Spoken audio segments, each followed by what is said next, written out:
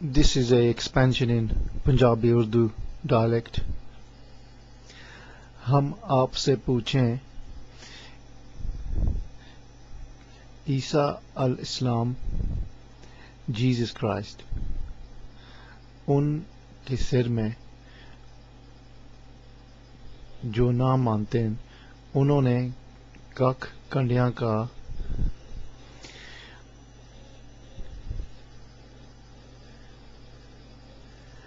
ٹوپی جیسا کیوں پہنایا؟ Why D per thorns on his as a crown kick کنڈیا نہ ہار کیوں پایا نے سرے نے اوپر؟